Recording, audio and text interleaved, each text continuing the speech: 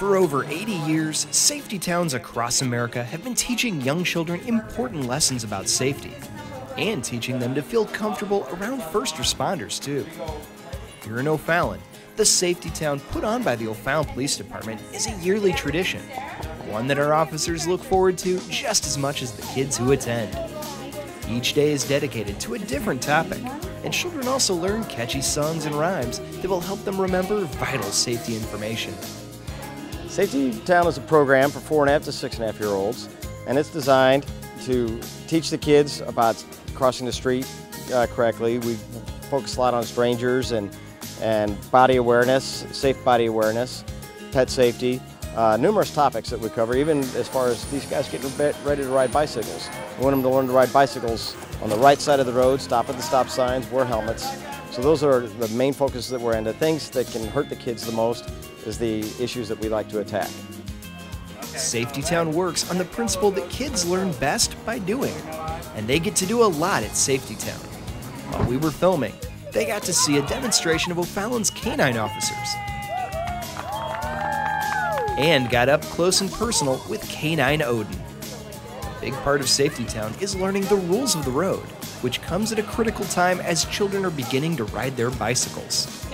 On a simulated town layout, our officers and teenage counselors help children learn about traffic safety, stop signs, and crossing the road. And the kids get to burn off some steam pedaling around as well.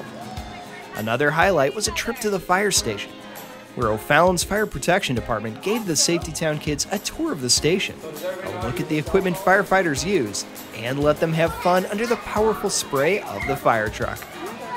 Today we're here with the kids from Safety Town uh, we're showing them the station, the trucks, and a little safety talk.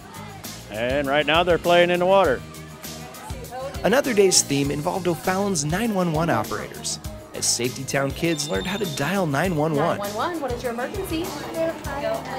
There's a fire. They got to practice with real phones and get comfortable talking to real 911 operators. Lessons like these pay huge dividends.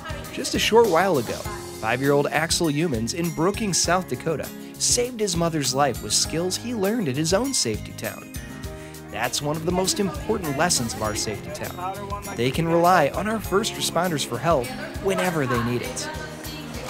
O'Fallon's Police Department offers this nationally accredited summer program every year, and it's one of the few programs your children can attend that are exclusively designed to teach safety. If you'd like your child to attend, keep an eye on the O'Fallon Police Department's website or social media pages in the spring.